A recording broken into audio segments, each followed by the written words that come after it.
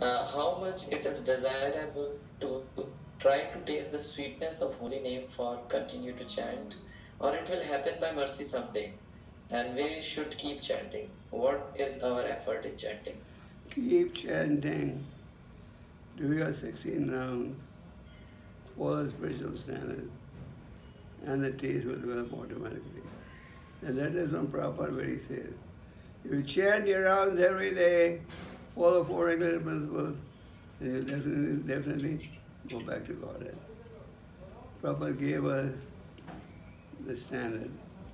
Bhakti Siddhanta Ji, when he was on the planet, he told his disciples to chant 64 rounds a day.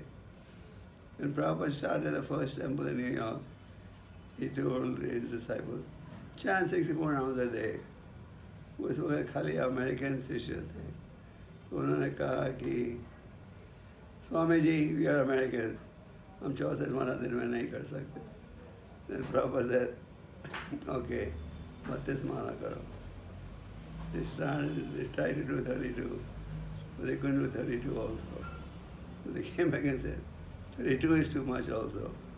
So Prabhupada said, 16, and no more.